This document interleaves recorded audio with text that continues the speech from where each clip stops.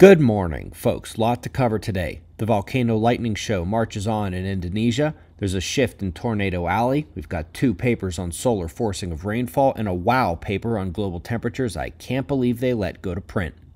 Let's start with the last 24 hours on our star, much quieter in terms of flaring, but there remain sunspots and plasma filaments. One of them ripped away violently yesterday. Some of the big sunspots will be turning out of view this weekend and will await more turning in, but for today and tomorrow, the bigger watch is for those filaments. There are at least three solid ones remaining on the Earth facing disk after this one erupted. Remember, when these go off, there is no pre eruption flare, just have to catch them in the act. Folks, the same volcano in Indonesia that gave us the amazing lightning show last month is at it again. Three major eruptions already this morning and a tall ash cloud.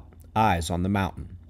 For those who study weather, this is what you likely know as Tornado Alley, but it has changed. Between a reduction in summer, an increase in winter, and a shift overall eastward of the tornado genesis zone, this is now Tornado Alley if you take the data over recent decades.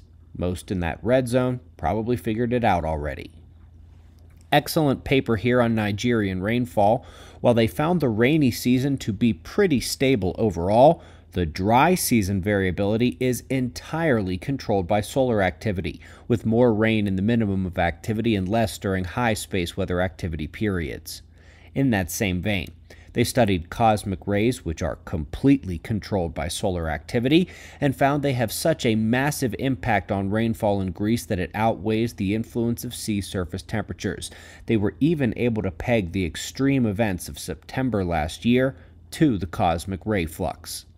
Last but not least, they're finding that shipping trails, the water vapor lines in the atmosphere left behind, were actually the most impactful form of weather modification they could ever do. A change in regulation a few years ago that reduced those trails has caused the warming rate to double, meaning that all of the warming you're hearing about since 2020 is because of their own policies. Wild that that managed to get through into the journals, but very glad it did. We greatly appreciate your support. We'll do this all again tomorrow. Right here, but right now it's 5:45 a.m. in the new Valley of the Sun eyes open, no fear. Be safe, everyone.